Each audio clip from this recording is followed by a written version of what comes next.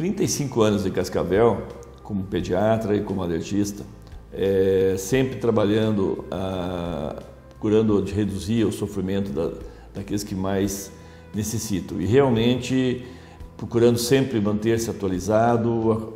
Todos os congressos, é, anualmente, nós estamos participando, trazendo sempre aquilo que é de melhor para que a gente possa oferecer aos nossos pacientes qualidade e, e sempre novidade e atualização, para que realmente possa beneficiá-los de uma forma mais ampla.